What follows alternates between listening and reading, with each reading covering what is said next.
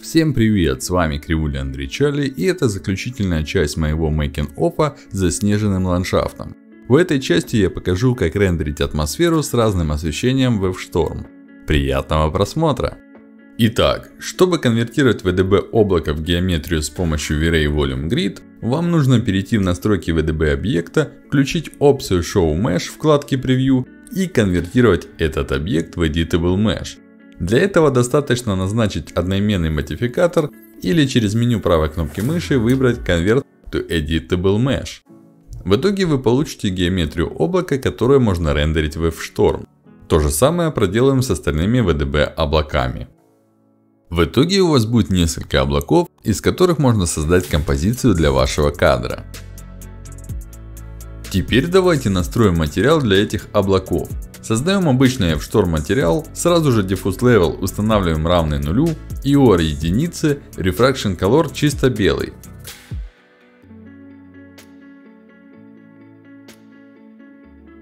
И чтобы облако было более объемным и реалистичным, меняем цвет скеттеринга на чистый белый и пробуем отрендерить любой из облаков в сцене.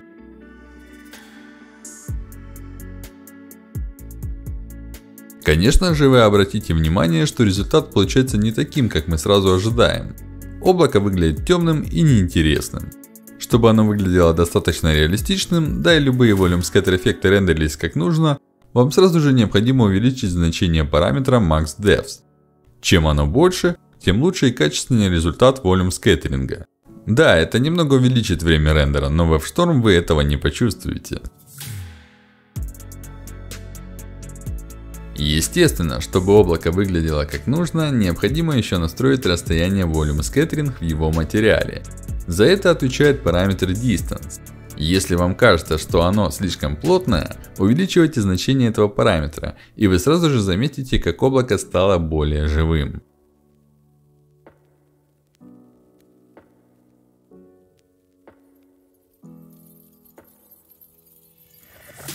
После того, как вы довольны его настройками, строим композицию из облаков.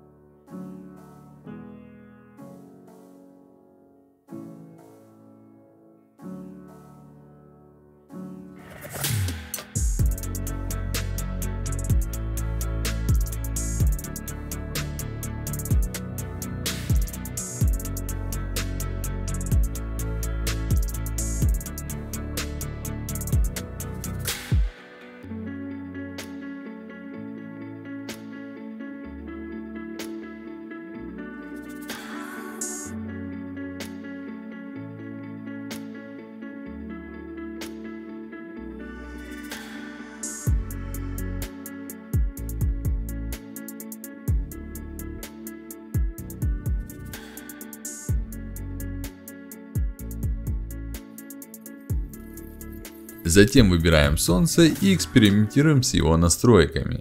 Если туман вас сбивает с толку, вы можете временно включить Direct Light Kernel. Это ускорит процесс рендеринга или можно выключить атмосферу. Таким образом будет гораздо удобнее настраивать положение солнца.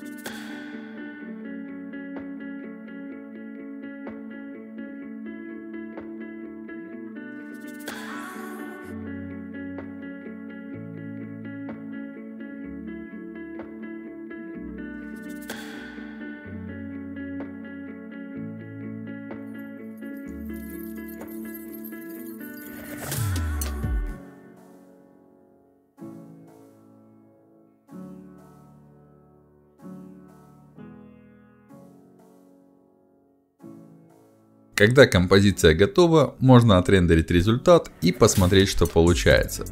Для рендера таких изображений я использовал 10 тысяч сэмплов и экспериментировал со значением Ray Threshold, чтобы облака не были темными и не возникало никаких багов.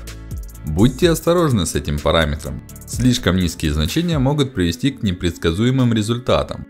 Например, если сейчас поставить такое значение, то облака будут выглядеть как темное стекло, не совсем реалистично. Дальние еще более-менее нормально рендерятся, а вот ближние не очень. Чтобы исправить этот баг, просто увеличиваем значение Ray Threshold. В данном примере мне было достаточно 0,3.